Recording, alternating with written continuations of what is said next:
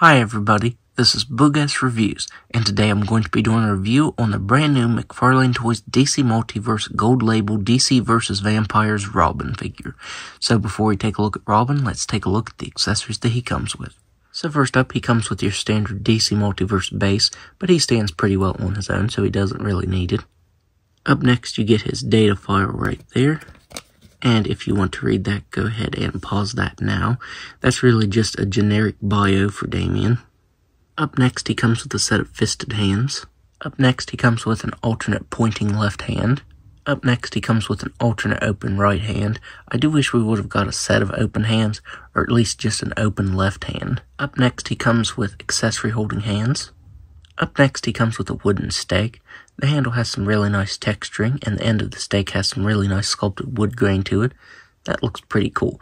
I do wish the grip was a little bit tighter on this, but I did put the sword in his hand and it stretched out just a little bit, so that is my fault. And finally, he comes with his sword. We've seen this used before on the Infinite Frontier Robin figure. The handle on that one was done in black, and this one's done in gold. And I have to say, I like the gold color a lot better. I just think that looks really good. So now let's go ahead and take a look at his head sculpt. So this is a very nice head sculpt for Vampire Robin. I think this looks really good. I actually think it looks even better than the comic art there.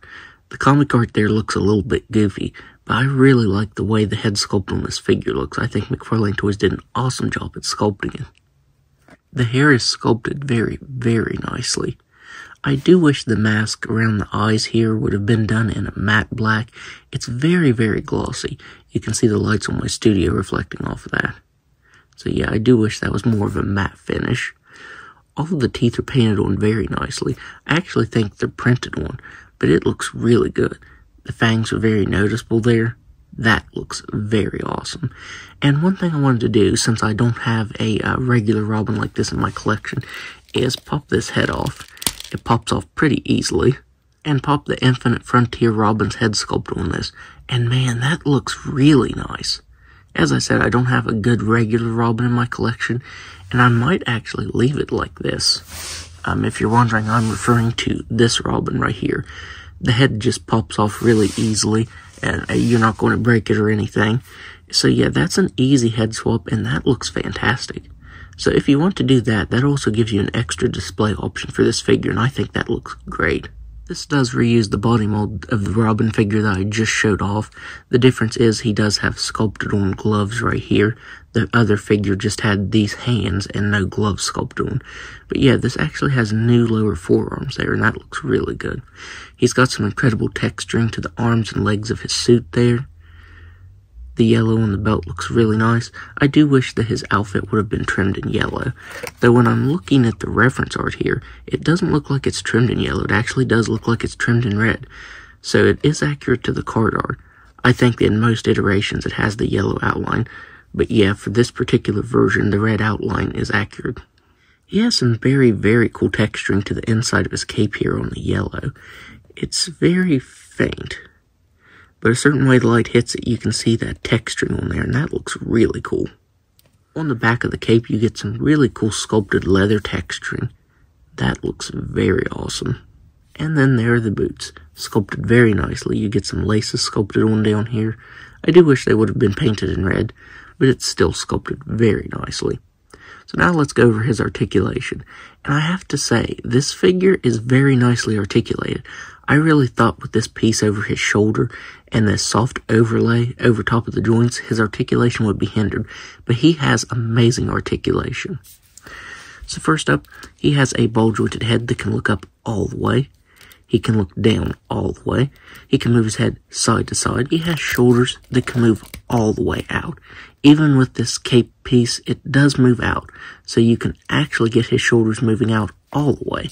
He has butterfly joints that are just a little bit limited. He has swiveled the bicep, double jointed elbows that can bend in all the way, ball jointed wrists that can move up and down and spin all the way around. He has an ab crunch that can move back just a little bit, and he can crunch forward all the way. I was really surprised at that. So despite this overlay joint, he actually can crunch forward all the way. Though since it is this soft rubber, I wouldn't recommend doing that too much. You might actually split it. But yeah, he has some pretty nice articulation there. Can also move side to side very nicely and all the way around. He has ball jointed hips that can do a complete split. He can kick forward all the way.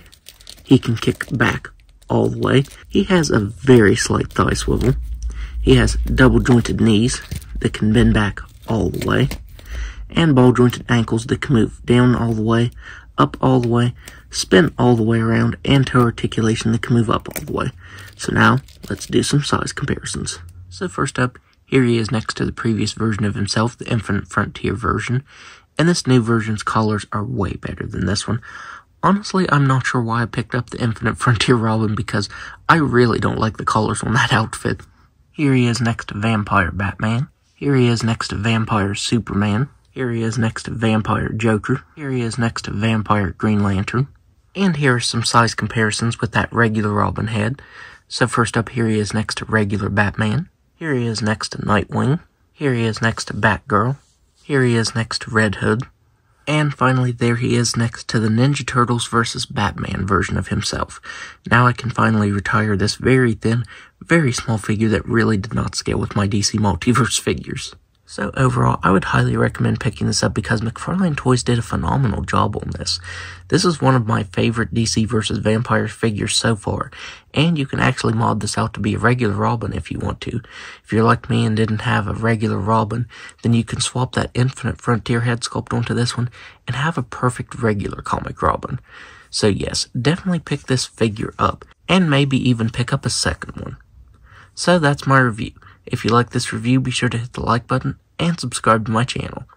Thanks for watching.